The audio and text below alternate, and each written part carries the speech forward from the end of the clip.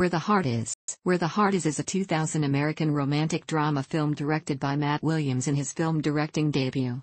The film stars Natalie Portman, Stockard Channing, Ashley Judd, and Joan Cusack with supporting roles performed by James Frain, Dylan Bruno, Keith David, and Sally Field. The screenplay, written by Lowell Ganz and Babaloo Mandel, is based on the best-selling 1995 novel of the same name by Billie Letts. The film follows five years in the life of Novalee Nation, a pregnant 17-year-old, who is abandoned by her boyfriend at a Walmart in a small Oklahoma town. She secretly moves into the store, where she eventually gives birth to her baby, which attracts media attention. With the help of friends, she makes a new life for herself in the town.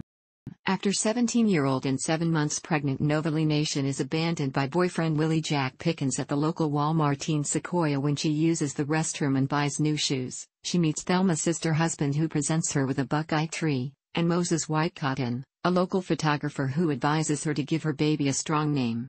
A sickly and homeless Novalee is forced to live in the Walmart, undetected. Novalee is also acquainted with surly librarian Forney Hull who looks after his alcoholic sister Mary Elizabeth. During a thunderstorm Novalee, alone at Walmart, goes into labor. Forney, who is now an Og Novalee, smashes through the Walmart window to help deliver her child whom she names Americus.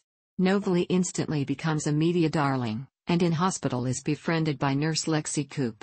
Her estranged mother Mama Lil, visits after seeing her daughter on television, but disappears with the money donated by well-wishers. Sister husband arrives and offers to take in Novalee and Americus.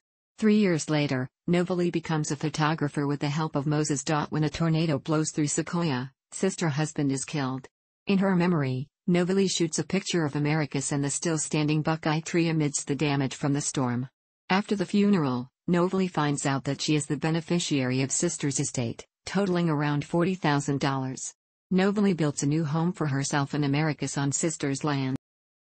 Meanwhile, after a spell in prison and traveling to Nashville, Willy Jack becomes a one-hit wonder after a slow start with Beat of a Heart, a song he wrote in jail.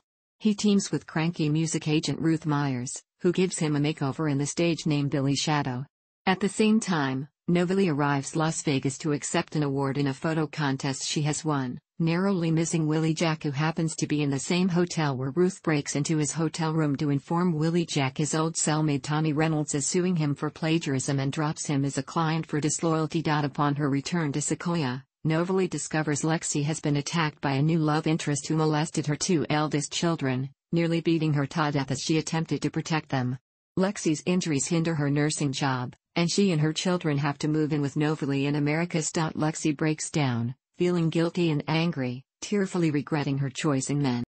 Mary Elizabeth later passes away and when Forney does not appear at the funeral, Novalee finds him in a hotel and comforts him. They act on the feelings they have denied for so long and spend the night together.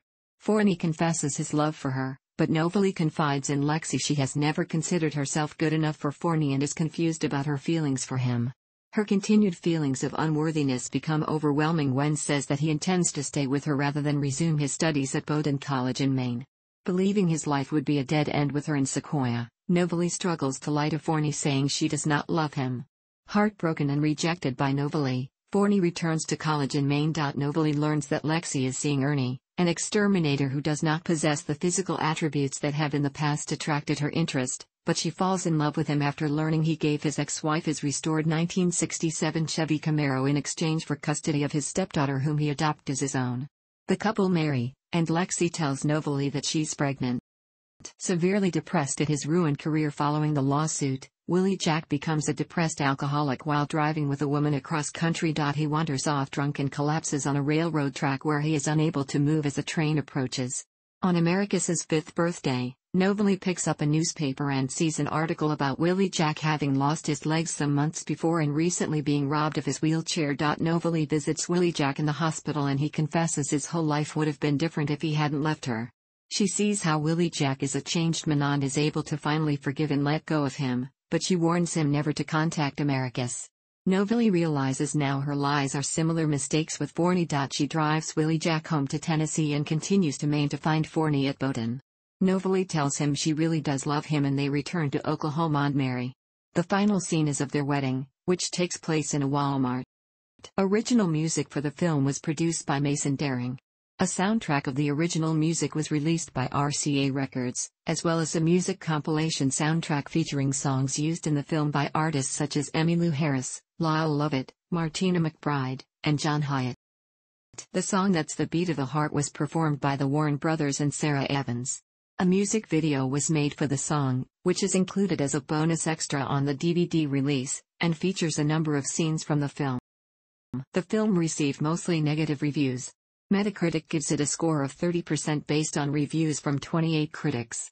Rotten Tomatoes gives it a 35% approval rating, based on reviews from 97 critics, with the site's consensus stating that the film's poor script and messy plot undermines the decent cast.